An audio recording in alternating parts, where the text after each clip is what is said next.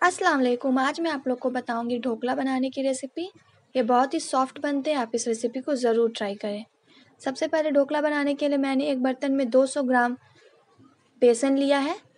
चाय वाले कप से आप दो कप ले लें। अब हम इसमें हाफ़ टेबल स्पून के करीब नमक ऐड करेंगे। अब हम इसमें वन एंड हाफ़ स्पून चीनी ऐड करेंगे। एक चौथाई चम्मच हल्दी पाउडर यूज़ करेंगे। और हम इसमें डालेंगे एक चम्मच के करीब नींबू का रस। इन सब चीज़ों को डालने के बाद आप इसे अच्छे से मिक्स कर लें और इसमें हल्का गुनगुना पानी डाल के थोड़ा थोड़ा इसे इस तरह से एक बैटर की तरह बना लें। ये ज़्यादा पतला नहीं बनता है मीडियम बनता है। थोड़ा थोड़ा पानी डालें और अच्छे से इसे मिला लें ताकि इसमें कोई भी लम्स ना रहे। ये देखिए, इस तरह से आप बैटर बना लें। बैटर जब बन जाए तो आप इसे दस मिनट तक साइड में रख दें ताकि जो हमारा चीनी है वो गल जाए। मैंने यहाँ पे एक बर्तन में थोड़ा सा पानी ऐड किया है और उसके ऊपर स्टैंड रख लिया है। अब हम इसे हाई फ्लेम पे गर्म होने देंगे। अब आपको जिस बर्तन में ढोकले को स्टीम करना है, उसमें थोड़ा सा ऑयल लगा लें ताकि जो हमारा ढोकला है वो आसानी से निकल जाए। इस तरह से आप पूरे बर्तन पे ऑयल लगा लें अच्छे से चारों साइड्स पे। अब हम ये देखिए, दस मिनट हो चुके हैं और चीनी भी सारी डिज़ोल्व हो चुकी है। अब हम इसमें फ्रूट सॉल्ट डालेंगे, यानी इनो डालेंगे। इनो डालने के बाद आप इसे अच्छे से मिक्स कर लें।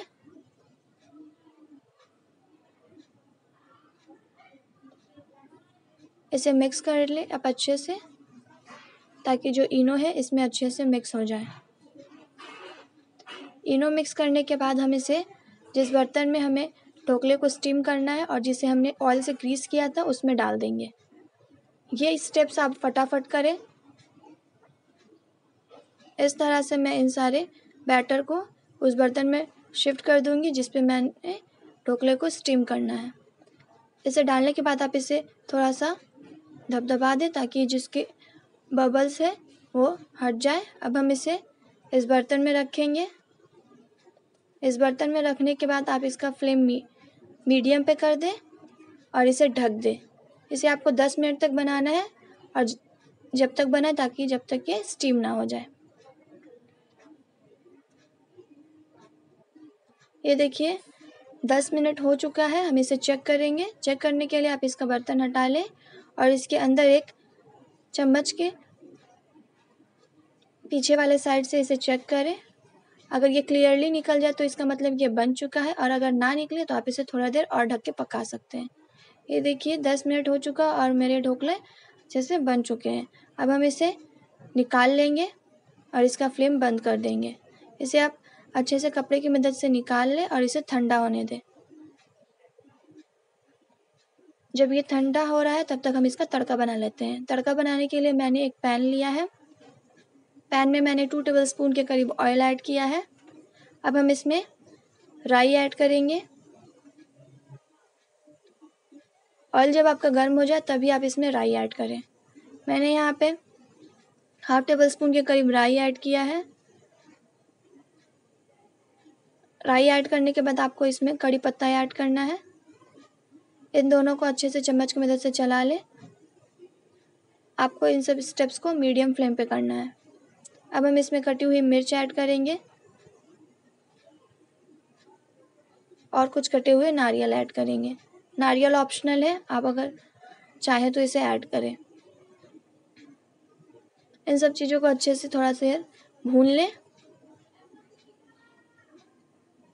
भूनने के बाद हम इसमें हाफ़ कप के करीब पानी ऐड करेंगे। पानी ऐड करने के बाद अब हम इसमें टू टेबल स्पून के करीब चीनी ऐड करेंगे। चीनी ऐड करने के बाद आप इसे अच्छे से चला लें और इसे ढक दें। ढक कर आपको स्लो फ्लेम पे पकाना है ताकि हमारा जो चीनी है वो मेल्ट हो जाए। ये देखिए, चीनी हमारा मेल्ट हो चुका है। अब आप इसे बंद कर लें। अब हम इसे डीमोल्ड करेंगे ढोकले को। साइड से आप इस तरह से नाइफ की मदद से इसे साइड से छुड़ा लें।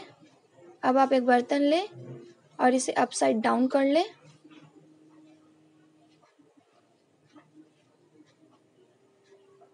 थोड़ा सा हाथों की मदद से इसे, इसके बैक पे इस तरह से मारे, ताकि जो हमारा ढोकला है वो अच्छे से निकल आए। अब हम इसे कट करेंगे। आप इसे आराम से कट करें, क्योंकि ये बहुत ही सॉफ्ट होते हैं।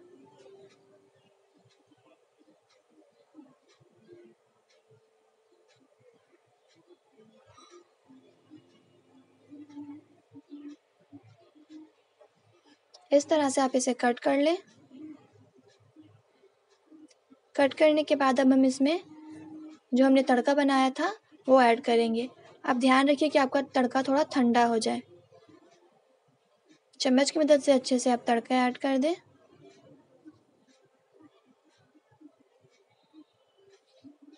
तड़का आप अच्छे से ऐड करें ताकि जो हर ढोकला का पीस है, उसमें शुगर सिरप ऐड हो जाए। अब हम इसके ऊपर कटा हुआ धनिया ऐड करेंगे। इन सब चीज़ों को ऐड करने के बाद हमारा जो ढोकला है वो रेडी है खाने के लिए। आई होप आपको मेरी ये रेसिपी अच्छी लगी हो। अगर आपको मेरी ये रेसिपी अच्छी लगी तो मेरे चैनल को लाइक करें शेयर करें एंड सब्सक्राइब करें। जैसे कि आप देख सकते हैं, ये बहुत ही सॉफ्ट बनते हैं। आप इस रेसिपी को ज़रूर ट्राई करें अपने घर पे। थैंक्स फॉर वॉचिंग खुदा हाफिज़।